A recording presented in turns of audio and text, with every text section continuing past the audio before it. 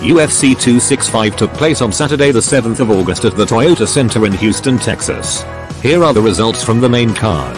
Song Yadong returned to the winner's circle with a composed, outstanding performance against Casey Kenney.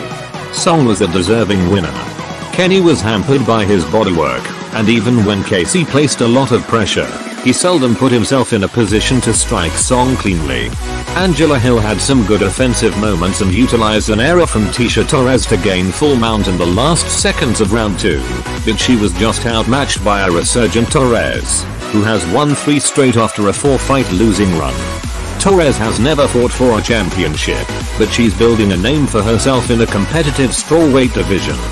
Vicente Luque is the maestro of the submittal, and it is my absolute favorite.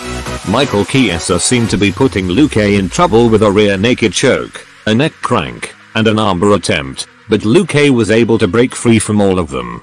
In the short amount of time, Luque scrambled to a front headlock and was buried in a D'Arce choke, and Chiesa tapped. Jose Aldo put on a boxing clinic on his way to a unanimous decision victory over fellow Brazilian Pedro Munhoz. Aldo also did some great leg kicking, and his fists buckled Munhoz a few occasions. His body blows were lethal, and his stinging jab left Pedro severely outgunned for the most of the bout. Ciryl Gane is the new interim UFC heavyweight champion. The outcome seemed like a foregone conclusion with the odds makers favoring Gane. Gane dismantled the Black Beast with devastating low kicks, poked his left eye out, and outmuscled the normally strong Lewis in the clinch. The only chance Lewis ever had to win this fight was his customary comeback KO, which never materialized, much to the displeasure of the Houston fans.